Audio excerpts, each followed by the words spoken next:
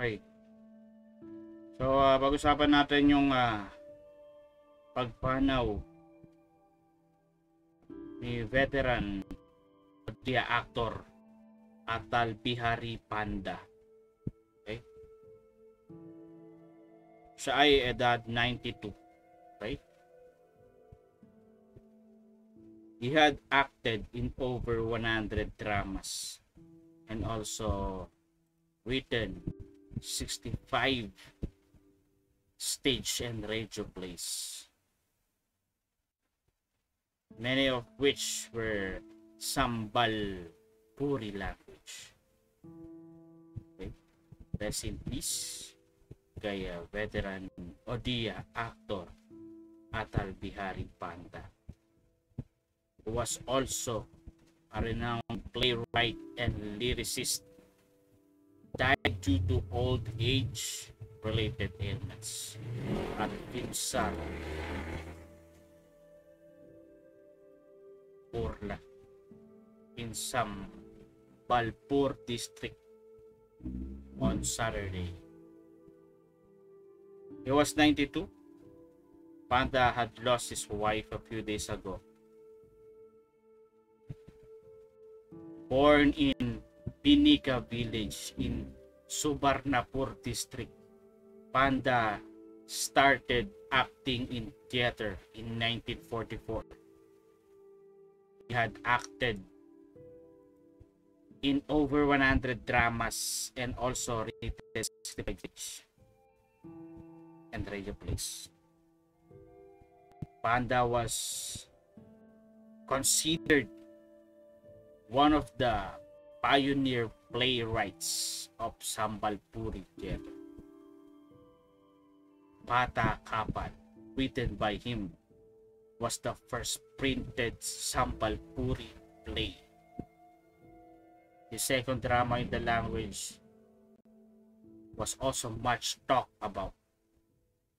After seeing one of his plays, former Odisha Chief Minister Dr. Matap had suggested that he writes opera scripts. Panda, who was in government service, went on to write six opera scripts during his posting at Kotak. Okay.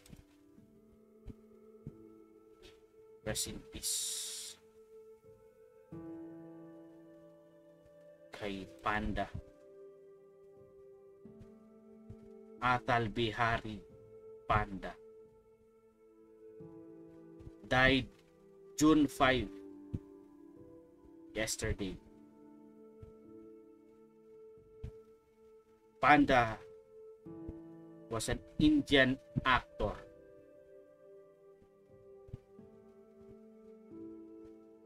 He was regarded as one of the finest actors in Odisha and was the recipient of numerous awards including two back-to-back Odisha State Film Awards for Best Actor. His debut in films came at an age of 83 years.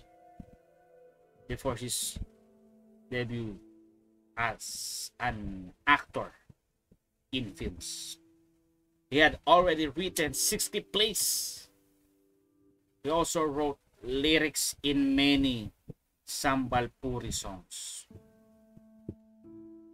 He acted in over 100 plays. Initially, director Sabyasachi Mohapatra approached him to write dialogue for the film Sala Buddha.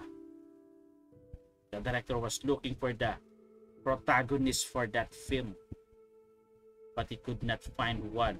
So he approached Atal to play the lead role, and Panda agreed. That's all for now. It's me again, Michael Aso. One of those first.